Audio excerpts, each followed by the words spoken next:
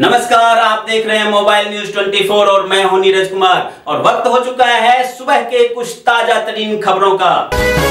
Agusta Westland helicopter में money laundering से संबंधित मामले में गवाह बन गए राजीव सक्सेना को मेडिकल आधार पर विदेश यात्रा की अनुमति देने के खिलाफ ईडी की याचिका पर सुप्रीम कोर्ट आज सुनवाई करेगा।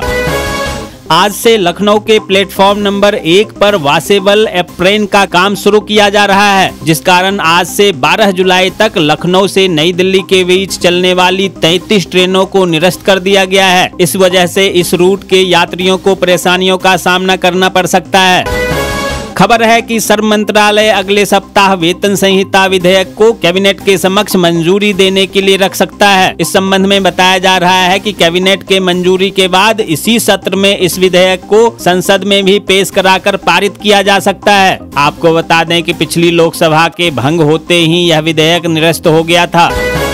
यूपी की योगी आदित्यनाथ सरकार युवाओं को रोज़गार देने के लिए एक खास प्लान बना रही है, जिसके तहत राज्य सरकार नौजवानों को गन्ने के जूस के कारोबार से जोड़ने जा रही है। वहीं बताया जा रहा है कि अब युवाओं को प्रधानमंत्री मुद्रा योजना के ज़रिए ऋण मुहैया करवाकर इस रोज़गार से जोड़ा जाएगा।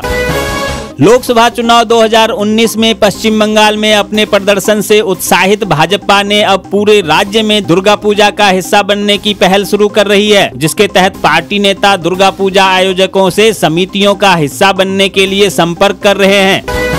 विदेश मंत्री एस जयशंकर आज मंगलवार को राज्यसभा सीट के लिए गुजरात के गांधीनगर से नामांकन भरेंगे। आपको बता दें कि राज्यसभा की रिक्त हुई छह सीटों के लिए उपचुनाव 5 जुलाई को होने जा रहा है।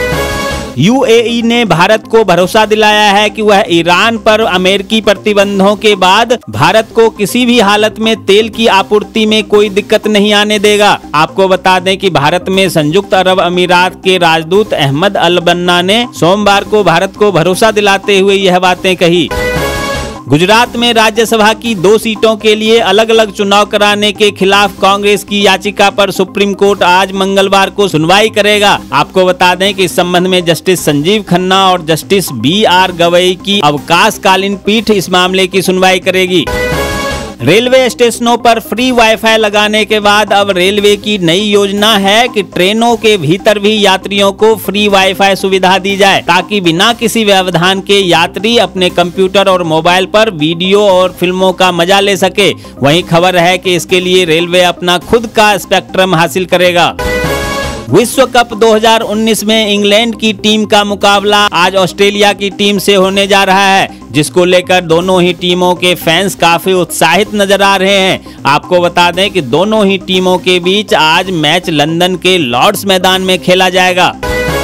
दुनिया में भारत की बढ़ती ताकत और प्रभाव के मुताबिक ब्रिटेन अपनी रणनीतियों में बदलाव करने में असफल रहा है। आपको बता दें कि यह चौंकाने वाला तथ्य सोमवार को ब्रिटिश संसदीय जाँच रिपोर्ट में सामने आए हैं। मानव संसाधन विकास मंत्री रमेश पोखरियाल निशंक ने कहा है कि संस्कृत संस्थानों को सुदृढ़ बनाने के लिए उनका मंत्रालय जल्द ही रिक्त परे अध्यापकों के पदों पर भर्तियाँ करेगा। आपको बता दें कि लोकसभा में सोमवार को प्रश्नकाल के दौरान विश्वविद्यालयों में संस्कृत अध्यापकों के रिक्त पदों से संबंधित सवाल के जवाब में निशंक ने यह बातें कही। कांग्रेसी महासचिव प्रियंका गांधी वाड्रा ने यूपी में बड़ा फेरबदल करते हुए वहाँ के सभी जिला कमेटियों को भंग कर दिया है। यानी सभी जिला अध्यक्ष, शहर अध्यक्ष और सभी पदाधिकारियों को उनके पद से हटा दिया गया है। वहीं यूपी की जिन विधानसभा सीटों पर उपचुनाव होने हैं, वहाँ पर अभी से दो नेताओं की कमेटी बनाकर उनको काम पर लगा दिया गया है। सुप्रीम कोर्ट ने मेडिकल और डेंटल एडमिशन में मराठा आरक्षण लागू करने के मराठा सरकार के फैसले में दखल देने से इनकार कर दिया है। आपको बता दें कि इससे पहले हाई कोर्ट ने भी 16 प्रतिशत मराठा आरक्षण देने के सरकार के फैसले में दखल देने से इनकार कर दिया था। देश की रक्षा तैयारियों को लेकर रक्षा मंत्री राजनाथ सिंह ने बड़ा बयान देते हुए कहा कि देश की रक्षा तैयारियों के साथ कोई समझौता नहीं किया जाएगा। इस दौरान उन्होंने रक्षा क्षेत्र में आवंटित बजट के पूरा उपयोग न होने के आरोप का भी खंडन किया। लोकसभा चुनाव में हार के बाद कांग्रेस अध्यक्ष पद को लेकर चल रहे बहस के बीच राहुल गांधी एक्शन में आ गए हैं, जिसके तहत आगामी 26 और 27 जून को राहुल गांधी तीन राज्यों के विधानसभा चुनाव के मद्देनजर बैठक करेंगे। आपको बता दें कि 26 जून को राहुल गांधी महाराष्ट्र के नेताओं के साथ और 27 जून को हरियाणा और दिल्ली के नेताओं के साथ बैठक करने जा रहे हैं। इनकम टैक्स विभाग ने चालू वित्त वर्ष में चौसठ हज़ार सात सौ करोड़ रुपए के रिफंड किया है। वहीं 2018-19 वित्त वर्ष में वन करोड़ रुपए से ज़्यादा अमाउंट रिलीज़ किया गया। आपको बता दें कि यह जानकारी सोमवार को वित्त मंत्री निर्मला सीतारमन द्वारा दी गई है। खबर है कि मोदी सरकार इस बजट सत्र में काले धन पर रिपोर्ट पेश कर सकती है। इस संबंध में बताया जा रहा है कि वित्त मामलों की अस्थायी समिति ने इस बारे में अंतरिम रिपोर्ट तैयार कर ली है। हिमाचल प्रदेश में मौसम विभाग ने 24 और 25 जून को राज्य में मौसम के करवट लेने के अनुमान जताए हैं, जिसका असर प्रदेश के मध्य पर्वतीय और मैदानी क्षेत्रों में देखने को मिलेगा, जहाँ सोमवार को शिमला समेत कई जिलों में झमाझम बारिश हुई और लोगों को गर्मी से राहत मिली है। मध्य प्रदेश के सीएम कमलनाथ ने सोमवार को झाबुआ में स्कूल चले हम अभियान की शुरुआत की। इसके साथ ही सीएम ने बच्चों के विकास में मोबाइल और इंटरनेट गतिविधियों को सबसे बड़ी बाधा बताया। बॉम्बई हाईकोर्ट ने महाराष्ट्र के फडनवीस सरकार के मंत्री राधा कृष्ण विखे पाटिल, जयदत्त क्षीरसागर और अविनाश महाटेकर को नोटिस भेजा है। आपको बता दें कि इन तीनों ने ही हाल ही में महाराष्ट्र में मंत्री पद की शपथ ली है और बीखे पाटिल कांग्रेस छोड़कर बीजेपी में शामिल हुए थे। राजस्थान के पर्यटन मंत्री शिवेंद्र सिंह ने भरतपुर में रविवार को एक कार्यक्रम के दौरान भाजपा पर निशाना साधते हुए कहा कि लोकसभा चुनाव में विपक्ष ने लोगों को गुमराह करके झूठ फैलाया था, लेकिन राज्य सरकार इलेक्शन मैनिफेस्टो में किए गए अपने हर वादे को निभाएगी। पश्चिम बंगाल विधानसभा के बाहर प्रदर्शन कर रहे सरकारी शिक्षकों को सोमवार को पुलिस ने हिरासत में ले लिया। आपको बता दें कि ये शिक्षक अपनी सैलरी रिवाइज करने की मांग कर रहे थे। शिवसेना नेता डॉक्टर नीलम गोहरे को सोमवार को महाराष्ट्र विधान परिषद का उपसभापति चुन लिया गया। आपको बता दें कि एनसीपी के राम राजे नायक निम्बालकर अभी महाराष्ट्र विधानसभा परिषद के सभापति हैं। हिमाचल प्रदेश के सरकारी मेडिकल कॉलेजों में आर्थिक रूप से कमज़ोर बच्चों के लिए सीटें आरक्षित करने का रास्ता साफ़ हो गया है। दरअसल मेडिकल काउंसिल ऑफ़ इंडिया के बोर्ड ऑफ़ गवर्नेंस ने प्रदेश के छह सरकारी मेडिकल कॉलेजों में एमबीबीएस की 120 सीटों का इजाफा कर दिया है। उड़ीसा पुलिस ने बीजेडी के नवनिर्वाचित विधायक सरोज कुमार मेहर को सोमवार को गिरफ़्तार कर लिया। उन पर आरोप है कि उन्होंने एक आदिवासी समुदाय के कनिष्ठ अभियंता को सरेआम उठक बैठक करने के लिए कथित तौर पर मजबूर किया था।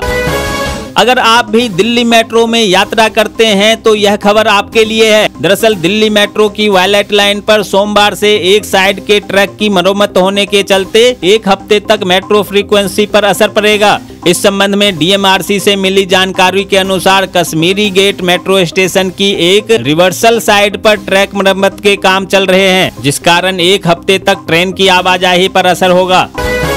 यूपी के मैनपुरी से हमारे संवाददाता सत्येंद्र कुमार बता रहे हैं कि मैनपुरी के किसनी से विधायक ब्रजेश कठेरिया ने आरोप लगाते हुए मीडिया को बताया कि डग्गा मार बसों को रोक पाने में प्रशासन नाकाम रही है। यूपी के पीलीभीत से हमारे संवाददाता अवध सक्सेना बता रहे हैं कि पीलीभीत के कस्बा वरखेरा के कर्मचारियों ने पौधारोपण कार्यक्रम का आयोजन किया, जिसमें लगभग 250 पौधे लगाए गए। इस मौके पर नगर पंचायत सभासद राधे श्याम चेयरमैन पुत्र अकील अहमद अंसारी, लेखाकार नफीस अहमद, अधिशासी अधिकारी आर के चौबे एवं कर्मचारीगण मौजूद रहे।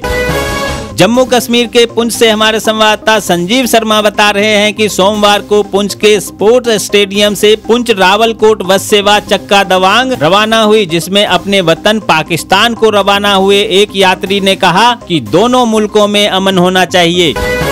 उत्तर प्रदेश के पीलीभीत में 23 जून को पंडित श्यामा प्रसाद मुखर्जी को याद करते हुए भारतीय जनता पार्टी कार्यालय में उन्हें श्रद्धांजलि दी गई। इस मौके पर उनके गौरवशाली क्षण को याद करते हुए जिला अध्यक्ष राकेश गुप्ता, जिला उपाध्यक्ष राकेश सिंह, के अलावा सुषमा जी, गौरव अवस्थी दिनेश पटेल, मनोज मिश्रा, नरेंद्र तिवारी, सुमित गंगवार, अशोक राजा, तोताराम, विभू सिंह पटेल देव प्रकाश दीप शिखा गुप्ता, रेखा परिहार, लेख राज भारती मंगल प्रसाद प्रसाद, तुलाराम, अतुल सक्सेना, प्रमोद अग्रवाल, अमिताभ त्रिपाठी, अतुल गोयल, रमेश लोधी सहित दर्जनों लोगों ने पंडित श्यामा प्रसाद मुखर्जी के प्रतिमा पर पुष्प अर्पित कर उन्हें श्रद्धांजलि दी।